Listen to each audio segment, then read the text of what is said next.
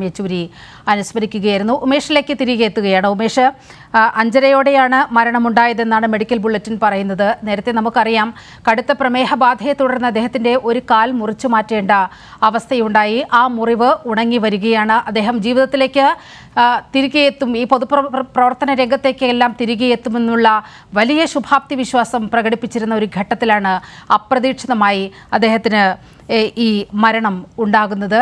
Medical ബുള്ളറ്റിനിൽ മറ്റെന്തെല്ലാം കാര്യങ്ങളാണ് പറയുന്നത്?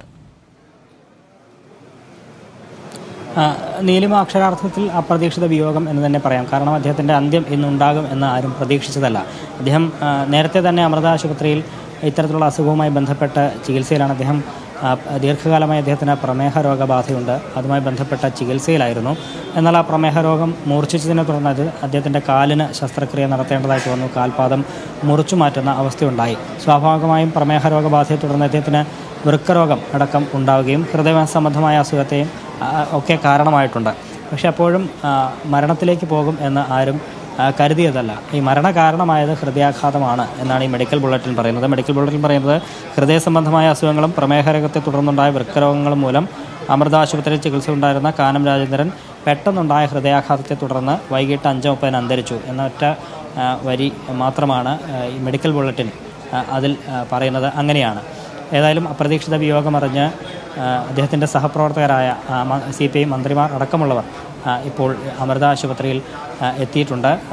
മന്ത്രി K Rajan P Prasad Chinchurani G R Anil ഉൾപ്പെടെ നാല് മന്ത്രിമാരും ഇപ്പോൾ അമൃത ആശുപത്രിയിൽ തന്നെയാണ്. സംസ്ഥാന നേതാക്കളൊക്കെ ഇപ്പോൾ ആശുപത്രിയിലുണ്ട്. ഒരുപക്ഷെ എങ്ങനെയായിരിക്കണം ഇനി തുടർന്ന് പൊതുദർശനം സംസ്കാരം അടക്കമുള്ള കാര്യങ്ങളിലൊക്കെയാണ് ഇനി തീരുമാനം വരേണ്ടത്. വിവരമറിഞ്ഞിപ്പോൾ മന്ത്രിമാരെത്തിയ ആശുപത്രിക്കകത്താണ് ഉള്ളത്. ഇതുവരെയും അദ്ദേഹത്തിന്റെ മൃതദേഹം പുറത്തേക്ക് ഇറക്കിയിട്ടില്ല. അതിനു മുൻപ് തന്നെ മൃതദേഹം പുറത്തേക്ക് ഇറക്കുന്നതിന് മുൻപ് തന്നെ ഇക്കാര്യങ്ങളിലൊക്കെ ഒരു തീരുമാനം വിശദീകരിക്കാനായി മന്ത്രിമാരിൽ ആരെങ്കിലും പുറത്തേക്ക് വരും എന്നാണ് പ്രതീക്ഷിക്കുന്നത്. നമുക്കറിയാം എറണാകുളം ജില്ലയിൽ നവകേരള സദസ്സ് പുരോഗമിക്കുകയായിരുന്നു.